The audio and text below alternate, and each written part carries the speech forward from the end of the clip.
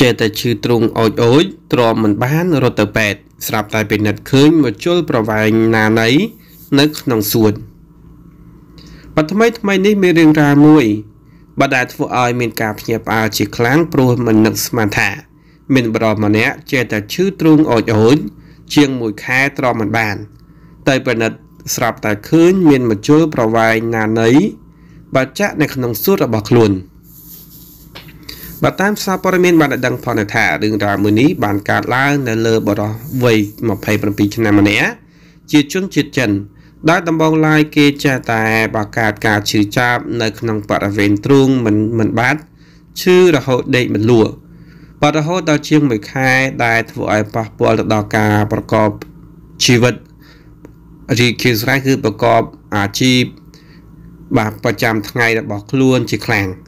បើក្រោយមកឈឺទ្រាំមិនបានបើក៏បានសម្រេចចិត្តទៅមន្ទីរពេទ្យស្រាប់តែឃើញ មានមជុលប្រវែង2.4សង់ទីម៉ែត្រកំពុងតែចាក់បាទទម្លុះខាងសួតឬក៏ទម្លុះនៅសួតខាងឆ្វេងបើឡើងដោះស្នឹមទៅហើយបាទពេទ្យក៏បានដឹងផងថាបាទទុកកាន់តែយូរជាងនេះទៅទៀតនោះមជុលនឹងកាន់តែបាទរូប ទៅមុខធ្វើឲ្យមានការចាក់ទម្លុះទៅដល់ខ្សែឈាមធំនៃបេះដូងនិងអាចបង្កឲ្យមានការឆ្លងមេរោគទៅជាគ្រោះថ្នាក់ដល់ជីវិតផងដែរ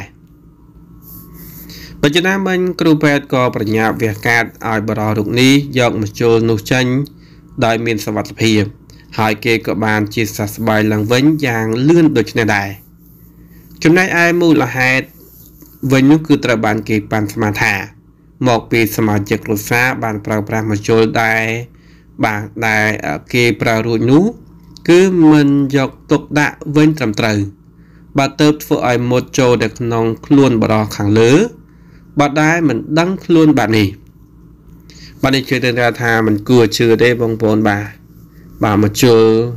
បាទមុតចូលក្នុងបាទមុតចូលធ្លុះទៅដល់សួន ហើយជាពិសេសនេះសំណាងឲ្យបងប្អូនបានត្រូវឲ្យពេទ្យពិនិត្យមើលឃើញតន់ណាឧទាហរណ៍ຕົកយូរជាងនឹងទីអាចមានការឆ្លងមេរោគប្រកបជាមានការបាត់បង់ជីវិតហើយបាទនេះជារឿងដែលសូមបងប្អូនទាំងអស់គ្នាមេត្តាប្រុងប្រយ័ត្នឲ្យមែនតើបាទព័ត៌មានដែរគឺមានតែប៉ុណ្ណេះទេបាទសូមអរគុណសូមជម្រាបលា